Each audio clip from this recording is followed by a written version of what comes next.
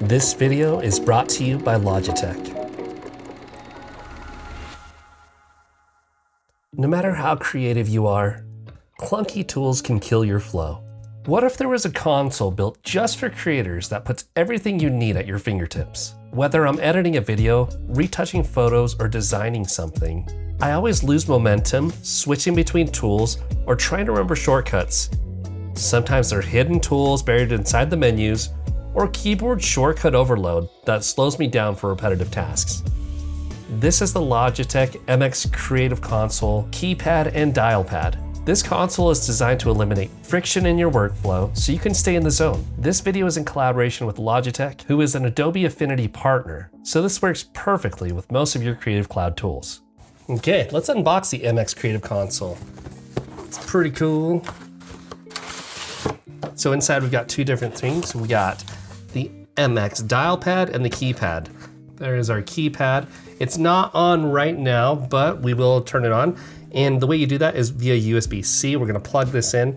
Then you have contextual shortcuts to access what you need to access. And then you have left and right here, then you can tab through the different options that you can have, contextual per application that you're in. That's really cool. Since Logitech is a partner with Adobe, hang on to the end because I'm gonna show you how you can actually get this whole thing right here for roughly $20 if you're a Creative Cloud subscriber. Then this is the base, which this will sit on. You can either have it sit on there or you can have it sit flat on your desk. There's a little port right there for the USB-C. Okay, in this side, we do have the dial pad.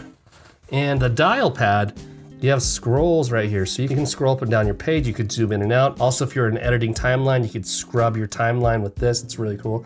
You got two buttons here and you got these two buttons right here as well. And also using Options Plus, you could plug and play and use pre-built profiles. And then a cord for the keypad. That's everything that's in there. Now first let's talk about the keypad. Now looking at the keypad, you'll see right here, you could actually pair this to up to three different devices. You can press this to toggle through which ones you want them to go through. And also this is powered with two AAA batteries. And to ensure that you don't use up all the battery in there, there is a switch on the back here. Red is off, green is on, letting you know when you have it turned on and off. And this connects to your computer via Bluetooth. So that is the dial pad. Now the keypad, you've got a couple of things here. You could have your keypad and it's powered and plugged in via USB-C. And when you have the pair, you can either have it flat like this, or since these light up and you wanna see what those shortcuts are, you could even just have this on this propped up here, and we'll tuck in our USB-C cable right there. And now I have my two shortcuts the way I want them to, like this and like that. And then I'm actually gonna plug this into my computer and show you how this looks when it's turned on. And it's contextual. So right now I'm on Finder, but also if I switch over to Lightroom, you see my Lightroom shortcuts. You have different pages of Lightroom shortcuts. You have three pages. If I go to Figma, I get different shortcuts there as well. It's pretty cool. So let's just get into how this works in different applications. Okay, before we jump into things, I just wanted to let you know that I've propped up the keypad right here and I have the dial pad right next to it. And we're gonna go through some use cases here. So looking at our screen right now, we are in Adobe Lightroom. I'm gonna show you how to use this with Adobe Lightroom. I'm just gonna go through like a couple of quick tips. I mean, you get really deep on these since there's so many different things that you can do. If we're looking at the keypad, you have black and white toggle, edit black and white channels, export dialog, copy and edit settings, paste settings, crop angle, previous photo, next photo, and ratings page. So, and then if I toggle over, with this button, it gives me more options there and a third page of options there. And it takes me back to my main page if I do that. So now you know what I mean when I say contextual buttons. Depends on which application you're in and what shortcuts you want. But also with Logi Options Plus, you can see right here, all four of my MX devices. I got my keyboard, I've got my mouse that I can need to update. I've got my keypad and I've got my dial pad. Now, if I go into the keypad, I can go in, I can adjust and customize the keys. And here we are. In Lightroom, I could actually change this to anything else I want it to be. I could change the icon on there. I could change the color. You could also customize these options as well as adding another page. So that's the contextual buttons I have for Lightroom. I've got contextual shortcuts for Illustrator, Premiere Pro, and Figma. So these are some of the ones that we're gonna go into today. The first thing I wanna jump into is Lightroom. So let's go here to Lightroom. Before this photo got to look like this, it looked something like this. There was a lot of fog around, a lot of steam, it was cold, there were hot pots. So I've edited my photo like this, and all I have to do is go right here, copy edit settings, press that, go to my next photo, and then paste settings, and voila. It's got most of those settings in there that I wanted to. All I need to do is crank this down to where I want it to be. But a nice shortcut there. So I could go next photo. Actually, from here, I could copy settings since this is a different spot. And then I can go to next photo and I can paste settings and there we go. So next photo, paste, there we go, and so on. Also, a beautiful photo like this, if I wanted to look at it as it was black and white, black and white toggle, now it's black and white, just like so. If I wanted to export, short export button to go to export my images, hit cancel. I can rate my images, so I can do three stars, go to the next image, two stars, next image, five stars. See how fast that was? Just by rating my photos so that when I go back to review them later, I know which ones I need to look at. So I'd also add shortcuts for viewing. So I'm gonna add shortcuts for dynamic grid, add a shortcut here for photo grid, add a shortcut here for square grid, and you know what? I left out detail grid. Let's do that one as well. So I'm gonna go out of this. I'm good. Go back to Lightroom and bam, look at how fast it is. That was already on my screen. I can view these in dynamic grid, photo grid, square grid, compare and view. So I compare do two different photos if I wanted to. I can take this one and change it, compare it to that. So just very quick like that, you have so many options here. Let's go back to photo, bam. Now let's go to our dial pad. We go into our dial pad. Let's customize the buttons. So in Lightroom, we have undo, redo, zoom in, zoom out, zoom in, zoom out here, as well as show actions ring and contextual, which is navigate photos. So I'm gonna show you this combination of how this works. So actually, let's go back to Logi options. And I do wanna add some of the ones that I usually use in the keypad. And we're gonna add, let's go back to page four. We're gonna add this one, saturation. We're gonna go temperature. We'll go tint. And this one will go vibrance. All of the color mixers that I wanna use, and look, they're already on there before I even exit out of this program. Okay. All I need to do is use my dial pad and my keypad. So check this out. I'm gonna go saturation, and then let me adjust how I want this to be, cranked up that saturation. Temperature, we could go from a cool over to a warm. We'll go tint, change our tint as well, see how that's more of on the green side, we'll go more on the pink side. We'll do a vibrance, crank up our vibrance, see there? So you have all of these shortcuts right here available to you. Using this one right here, I could scroll up and zoom in and zoom out. This one's this button's our zoom in, zoom out. We have undo, then we have redo right here. So that is Lightroom. Let's jump over to Premiere Pro. You'll see that the buttons now turn purple to match Premiere Pro. You can also fine tune those if you want to.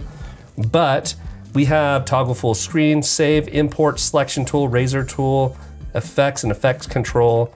So actually while we're in Premiere Pro, all I'm gonna do is I'm gonna go to effects and now it's automatically selected my effects menu as well as Lumetri Color.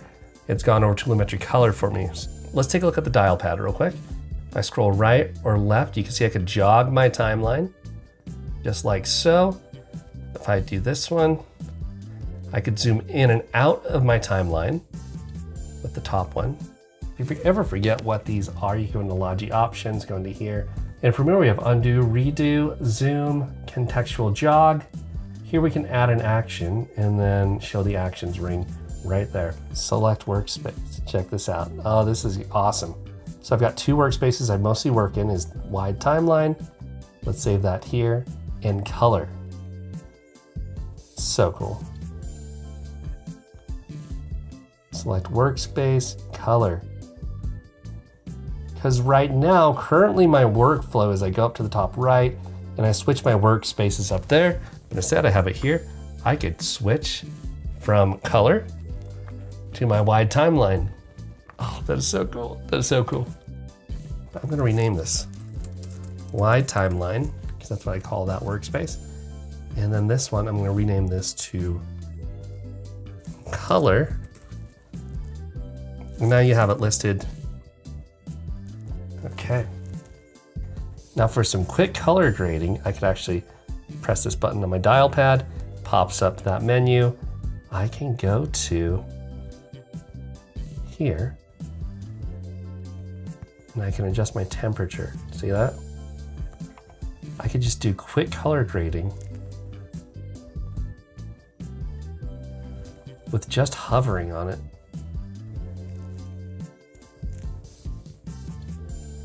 Look how fast it is. I turn down my saturation, I turn up my highlights. You'll see how fast that is, and you'll see the right panel moving there as well. Now let's take a look at Logi Options Plus. This is where you manage everything for your Creative Console. So right here, you'll see that we have the dial pad and you have the keypad. What we could do is we can go into the dial pad. So you can go in and customize the buttons. Um, you have this currently set in Lightroom for these things, but you can also go for like this default general profile. Um, when you're in anything else, this could work as system volume, vertical scroll when you're browsing the web and so on. And you can fine tune those as well. You can invert this if you'd like. But I found that if I go back here, and go to dial in roller, I could actually fine tune the speed of this to be the roll speed that I want it to. You kind of just want to mess around with that to see what's comfortable for you as well as scrolling direction as well. Since the keypad is so contextual, I can customize here um, for all these different applications that I have, and then some, or you can add a different profile. But what I really like is I don't really want to spend all that time going through what I need, but I can go to this icon right here and go to the marketplace. And inside the marketplace here is where I found those Figma profiles. Um, I can also install other profiles as well. So let's see, what else do I have? So I could do this here. Let's add an After Effects. Here's some After Effects profiles. Let's continue, install that profile. And now you see I have an After Effects profile preset for me to go with that application. But yeah, so there's the marketplace if you don't want to start from scratch with creating shortcuts. Now something to keep in mind about the build here is that it's made of plastic, but what's even cooler is that it's made of recycled plastic low waste aluminum, and the plastic-free packaging. It feels premium and it's built responsibly. So lastly, let's talk about how you get this Creative Console for roughly $20, which is kind of a steal. Like you might as well get it if you have Creative Cloud All Apps. It's pretty awesome. So with this, whether you're a new subscriber or a current subscriber of the Adobe Creative Cloud All Apps suite, you get three months for free.